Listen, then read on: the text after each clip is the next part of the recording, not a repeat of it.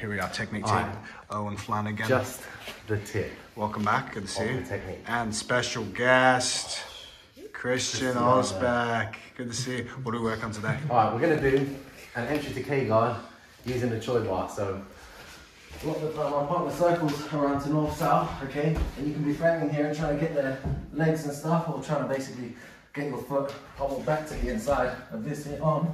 Okay, and once you get that foot in, you can basically safely use both of your hands to try and counter attack. So I'm gonna ideally just connect my hands on my partner's arm, bring my shin in front of my partner's face, so I'm able to pressure down on his head whilst pulling down on his arm, and that allows me to swing my foot over and through. So you can either choose to step on the hip and try and pull your partner's arm out, but for example, if you've tried that, so I've tried to step on his hip, I tried to pull it out, and then he hands his arm underneath, okay, and I've already shot my leg through, now it's going to be kind of difficult to pull this arm out, okay? So as my partner's pulling out and holding inside his leg, I'm to unhook his leg, frame on his armpit, and bring my foot to his armpit. Okay, so your foot that would have been here either in a half guard or just like loose in the air, frame and bring your foot to the inside. So now your partner can't basically drop their hips on you. And I'm to be able to connect my hands. And if they try and keep this knee on the floor, I can just pull and kick with my hands, with my leg at the same time and pull the knee to my chest.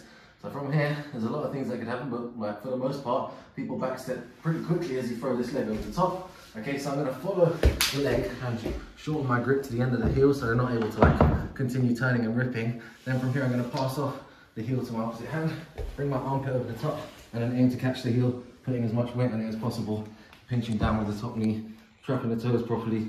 The heel can be in the bicep, that's fine, as long as you have a good grip. I'm gonna pinch down, look over my left shoulder, and then start to pull to get the finish. Nice. Right, one more time.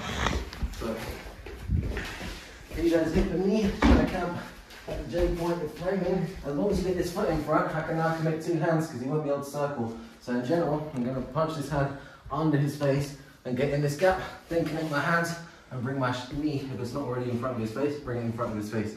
From here, I'm gonna push his head down with my knee to try and swoop my foot over the top and onto his hip. Let's say I manage to pull his arm open and get my foot through, and then he manages to hold on the inside of his knee again. Okay, now it's gonna be hard to switch to Kimura and stuff and extract the arm without him ripping out. So if I try to go Kimura here because I don't have tension, he can rip out. That's when I'm gonna go underhook on the leg, frame, and bring my foot in place. So you need to win that here, bring your foot in place, and then you're good. It's gonna be hard for them to defend this K-guard entry. So kick and pull, pull the knee to your chest. Now from here, I'm throwing my left leg over the top and catching, so you've got to be tight here with your hamstrings.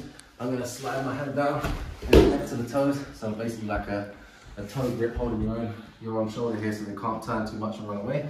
Most of the time people are going to manage to cross their legs here, but let's just assume that we managed to get a good catch on the heel. So try and trap the toes as much as you can between your tricep and your lat.